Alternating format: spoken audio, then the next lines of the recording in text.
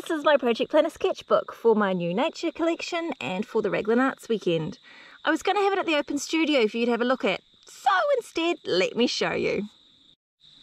Like the collection itself, this is a work in progress.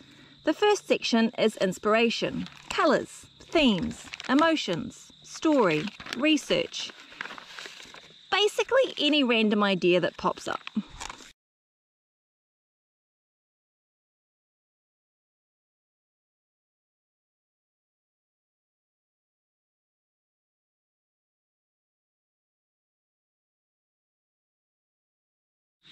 The second section is my progress, my to-do list. I've got the master list tucked in here. Deadlines, dates, time log, my content calendar, that sort of thing.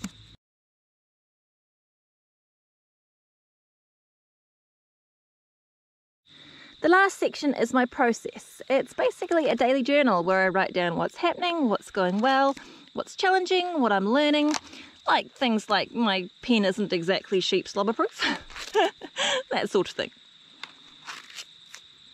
You may have noticed in my sketchbook the idea for fabric wall hangings. Apparently the bohemian look is back in a big way. So I thought I'd try it out and I ordered this custom printed fabric based on my artworks.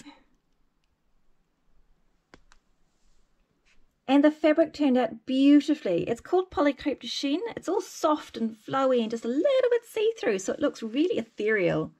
I'm really looking forward to making these into wall hangings. I'll let you know how that goes. In the meantime, let's carry on with the tour. I'll see you in the next video.